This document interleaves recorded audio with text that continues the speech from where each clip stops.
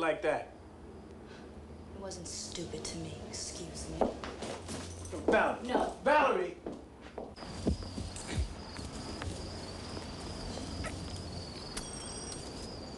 That you, Pierre? Yes, Pierre. JP, man, uh, let me ask you a question. What's a brother like you do for fun, man? You'll never know. Man, man, why you gotta get all smart and shit, man? All right, all right, I bet you go to the deli and, like, pick up a roll of salami, right? Run around to the drugstore and get a tube of Vaseline, and you and the girls make sandwiches all night. Look, you don't need to worry about my evenings. What about yours? What about mine? Yo, baby, let's pick up a 40 ounce, get a two piece chicken dinner, take it back to the crib, turn on the radio, and if you can find it and I can get it up, we'll both get some tonight. Word. Oh, that's real oh, funny, Oh, but what get if out you my out, face. man? Punk motherfucker. Man, I've been meaning to talk to you. You know what you're doing to our women? Yeah, nothing. Listen, man, with the shortage, we need all of our men for the survival of the race. That's funny. The women I talk to don't complain about the shortage. They complain about the black man not being about shit. What's this shit? What are you saying, man, anyway? I see a strength. I see a side of manhood that most people never see. Yeah, the backside. Love, trust, respect, qualities that surpass a black man's stereotype, I have found in my brothers. And if you're lucky enough to find these qualities in someone, man or woman, I suggest you hold on to it and be proud. Go. Are you ready? Let's go. Hello, BJ. Hello, Valerie. That's fucked up. You know that? That's really fucked up. What's that, man? Valerie going out with Pierre? No, man. The fact that I could lose my job any day and she's going out partying. Hey guys, what's going on? Working like clockwork, now. Oh, shit. Told you. Working like clockwork. And what does Muhammad BJ have to speak about on this fine night?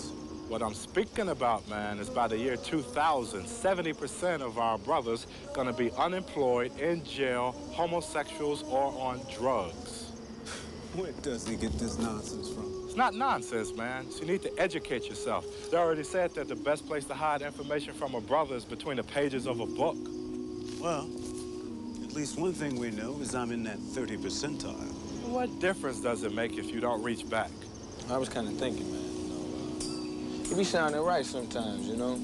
Because I don't be doing shit half the time, and I could be doing something a little better, you know. Trife.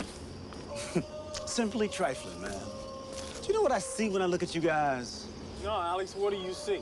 I'll tell you what I see. What I see is a bunch of lazy, self-defeatist, slave mentality type niggas who don't have the gumption, or let me break this down for Mr. Spoonie over here, the balls to pick themselves up and do something with their lives. Too bad, 'cause that's because you've been brainwashed to run from that which is real, man. Real? What the hell are you talking about with this real stuff? Everything about me is real, BJ. I mean, just today, I pulled me another Caucasian persuasion. So what's that supposed to mean, Alex? Come on, get with it, Thomas. What it means is I'm extraordinary because it's quite obvious that not every brother can have himself a white woman. Yeah, you right, because see, they're gold diggers, and they go after you simple brothers with money. I can sure smell the jealousy in the air tonight. No, no, it's not jealousy. You just don't see dogs mate with cats, and cats mate with rats, and all that kind of stuff. BJ, what is this dog, cat, rat shit got to do with who I'm sleeping with? Man, listen, I believe in a colorless world. And not you, you, and especially not you, will tell me who to adorn myself with. See, they got you to assimilate to that kind of thinking. So how do they do that? Man, stop encouraging that motherfucker, man. God Man. damn. No, it's all right. I tell you, man. See, it was back in the 70s when we had our unity, and they knew that in unity there was strength, right? So then they came in, they stripped us of it, so we all be like Alex. Whole lot of hot air out here, but I'm still not hearing how. I tell you how, man. See, it was back in the day when we were learning who we really were. I told you Rosa Parks did the right thing. You know, you're right, man. And ever since that incident happened, we've been together in the struggle. Yep. We even got our own black movies coming out now. Speaking of which, I think it's time for that movie. Let's go and check this thing out.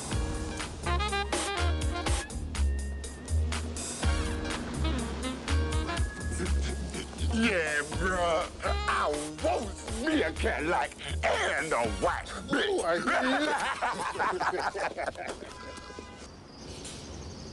Now that was the dumbest shit I have ever heard in my life. Thomas, listen to me, man. Just forget about Valerie. She don't count. Go out here and get yourself two or three of those little, well, you know the kind of jobs you would get. Save yourself some money, boy. And then you'll go out and find yourself a new woman. And this time, Alex promises you, you will keep her. Alex, yo, my man, you don't have a clue. Hey, Alex. Remember, you're black.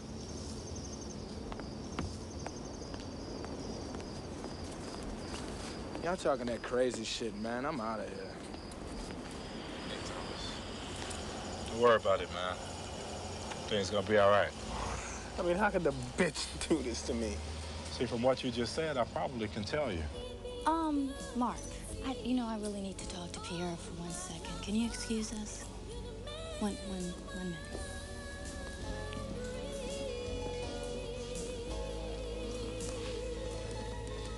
Why are you introducing me to crazy What's people? wrong with you? You could have gone to see Rick James. I told you the man had big bang. what is wrong with you? You saw how crazy Thomas was acting at the house? What's up? He's probably gonna lose his job. Pierre, look. That guy's been looking at me ever since we sat down. Which one? The one in the tan suit. But he's. Yeah, I um, know what he is. Thomas may not be the best, but do you want to do that? Why don't you go talk to your friend Mark, and maybe he'll come over here and talk to me.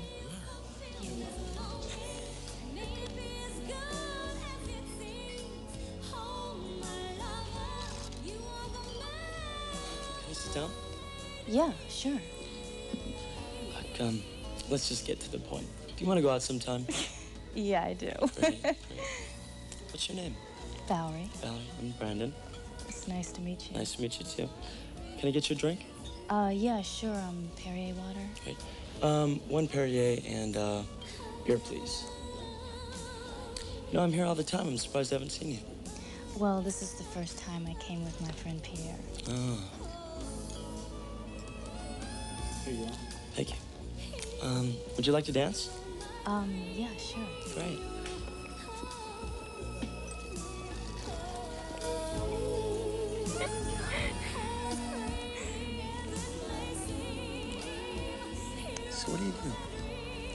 I'm a computer programmer for Comtex. Oh my God, what a small world. I handle their account. You're kidding. What are you, a salesman?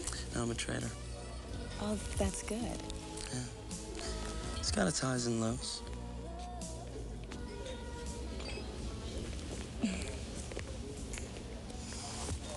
Looks like we have a short dance here. Why don't you come over here and let me introduce you to a friend of mine?